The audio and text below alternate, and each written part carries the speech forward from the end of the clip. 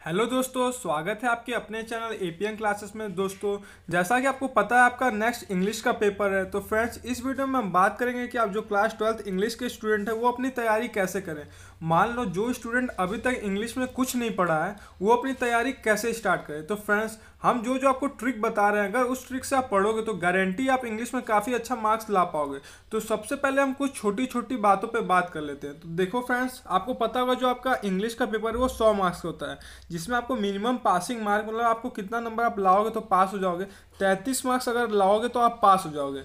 और जो आपका इंग्लिश का पेपर रहता है, वो दो पार्ट में रहता है। सेक्शन ए सेक्शन ए में आपका पचास मार्क्स का क्वेश्चन रहते हैं और सेक्शन बी में पचास मार्क्स का रहते हैं। तो सबसे पहले हम लोग सेक्शन ए के बारे में नहीं बात करेंगे, सबसे पहले सेक्शन बी के बारे में बात करेंगे। अब इसके बारे में पहले क्यों बात करेंगे, वो भी आपको बता देते हैं। देखिए ग्रामर ग्रामर आपका आठ मार्क्स से पूछे जाते हैं। वोकेबलरी जो वोकेबलरी रहता है, ये आपके चौदह मार्क्स से पूछे जाते हैं। जो ट्रांसलेशन रहता है, हिंदी टू इंग्लिश ये दस मार्क्स के। इसे राइटिंग बारह मार्क्स के और अनसिन सिक्स मार्क्स के। तो सबसे पहले आपको इसको ध्यान देना। देखो, मैं कहूँगा, जो स्टूडेंट अभी से स्टार्ट करें, वो ग्रामर को सबसे लास्ट में टच करें। सबसे लास्ट में ग्रामर क्यों पढ़ें? देखो, जो एग्जामिनर चेक करता है कॉपी अगर ग्रामर का क्वेश्चन आप थोड़ा सा भी गलत करते हो तो वो आपको पूरा ज़ीरो मार्क्स देगा। लेकिन ऐसे में ऐसा नहीं होता है। ऐसे में स्टेप मार्किंग होती है। मतलब जैसे बारह नंबर का ऐसे पूछा जा रहा है, और मान लो ऐसे आपको दे दिया लिखने के लिए, मान लो इंडियन पीएम मतलब इंडिया के प्राइम मिनिस्टर के बारे में लिखने के लिए दे दिया। अगर आप नहीं लिख पा रहे हो और कुछ भी लिख के आ जाओगे तो उसमें से अगर थोड़ा सा भी सही रहेगा तो बारह में से वो कुछ नंबर दे देगा। लेकिन ग्रामर में ऐसा बिल्कुल नहीं होता। ग्रामर में अगर थोड़ा सा भी गलत होता है तो वो पूरा एग्ज़ाम में ज़ीरो मार्क्स दे देता है। तो आपको सबसे पहले ये सोचना पड़ेगा कि कहाँ से आप नंबर गेन कर सकते हो मतलब कहाँ से आप अच्छा नंबर पा सकते हो। तो मेरे हिसाब से सबसे अच्छा रहेगा कि सबसे पहले अपना ऐसे राइटिंग और अनसीन पैसेज तैयार कर लो। अनसीन पैसेज में भी क्या रहता है कि पैसेज दिया रहता है और क्वेश्चन दिया रहता है। तो जो पैसेज दिया रहता है, आप उसी को पैसेज को अच्छे से पढ़ लोगे तो उसी में उसका आंसर भी छिपा रहता है। तो ये दोनों आप अच्छे से यहाँ से अट्ठारह मार्क्स ला सकते हो। जितना टाइम अपना आप ग्रामर पर वेस्ट करोगे, उससे अच्छा आप ये अट्ठारह मार्क्स यहाँ से ला सकते हो। क्योंकि ग्रामर क्या होता है कि ये एक दो दिन में तैयार होने वाली चीज़ नहीं है। और उसके अगर ग्रामर में जितना टाइम देने से अच्छा आप ऐसे में दे दो ऐसे में आप कुछ भी लिख के आओगे तो कुछ नंबर तो आपको ज़रूर देगा, ऐसा रूल रहता है। लेकिन ग्रामर में ऐसा नहीं है। अब बात कर लेते हैं ट्रांसलेशन का तो हिंदी टू इंग्लिश ट्रांसलेशन भी आप कर सकते हो। अब बात करते हैं, ये भी ईजी होता है। दस नंबर तो नहीं मिलेंगे, मान लो, जितने भी देंगे आप सब नहीं कर पाओगे, लेकिन कुछ तो कर ही लोगे। अब बात करते हैं ओकेबलरी में तो ओकेबलरी में आपका देखिए सिनोनिम्स आता है एंटोनिम्स आता है वर्ड वर्ड सब्सटीट्यूशन आता है। तो इसकी जितने भी वीडियो हम अपने चैनल पर प्रोवाइड किए हैं डिस्क्रिप्शन में उसका लिंक दे देंगे, एक बार आप उसको ज़रूर देख लेना। तो कुछ आपको आइडिया मिल जाएगा कैसे उस टाइप के क्वेश्चन करते हैं। तो यहाँ से देखो आप ग्रामर को सेक्शन बी में सबसे लास्ट में अटेम्प्ट करना, सबसे पहले मैं यही कहूँगा कि आप ऐसे और अनसीन पैसेज को सबसे पहले सॉल्व कर लेना तो आपके लिए काफ़ी फ़ायदा होगा। उसके बाद ट्रांसलेशन को देख लेना और इसमें जितने भी synonyms antonyms one word substitution रहेंगे, उसको एक बार पढ़ लेना। अब बात करते हैं आपका सेक्शन ए के बारे में।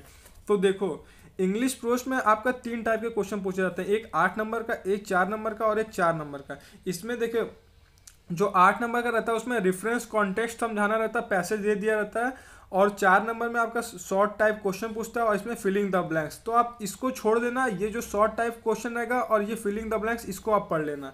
क्योंकि फिलिंग द ब्लैंक्स तैयार करना आपके लिए ईजी रहेगा।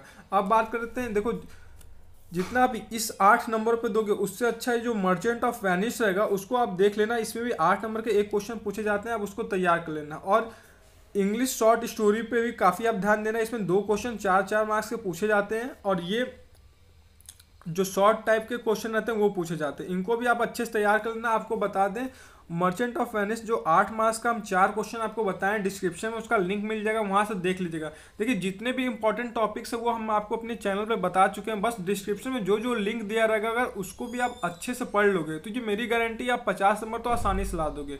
और जो जिस सिस्टम से मैं आपको बताया, उस सिस्टम से आप पढ़ोगे तो आप काफ़ी अच्छा नंबर पा सकते हो। और देखो, उसके बाद आप क्या करना, ये एट मार्क्स का इसमें आपको स्टैंड स्टैंडर्ड दिया रहता है, उसको एक्सप्लेन करना रहता तो मैं कहूँगा कम टाइम बचा है तो इस पर आप बिल्कुल ध्यान मत देना। सबसे पहले आप जो सेंट्रल आइडिया रहता है, उसको छः मार्क्स का रहता है। हम मोस्ट इंपॉर्टेंट सेंट्रल आइडिया आपको बता चुके हैं डिस्क्रिप्शन में उसका भी लिंक दे देंगे, वहाँ से आप देख लीजिएगा। तो आपको सबसे पहले ये देखना है कि कौन सी चीज़ें आपकी कम टाइम ले रही है। देखो एग्ज़ाम में सबसे इंपॉर्टेंट टाइम मैनेजमेंट होता है। आपके पास टाइम कम बचा है तो आपको पता होना चाहिए कौन सा टॉपिक पहले पढ़ के हम ज़्यादा मार्क्स पा सकते हैं। जैसे फिगर ऑफ़ स्पीच है, इसको भी आप अच्छे से पढ़ सकते हो, इसका भी हम वीडियो बना चुके हैं। इसका डिफिनेशन और एग्ज़ाम्पल ज़रूर आप एक बार देख लेना, क्योंकि एग्ज़ाम में वो भी पूछे जाते हैं। तो कुल मिला के सौ मार्क्स का ऐसे ही आपका फॉर्मेट रहता है और इसी टाइप के आपके क्वेश्चन पूछे जाते हैं।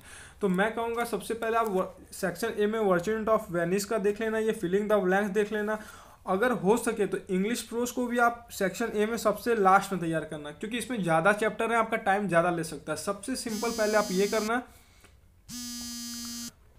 सबसे पहले आप ये करना है कि आप जो जो इंग्लिश पोइट्री का ये सेंट्रल आइडिया इसको तैयार कर लेना और इंग्लिश का शॉर्ट स्टोरीज तैयार कर लेना।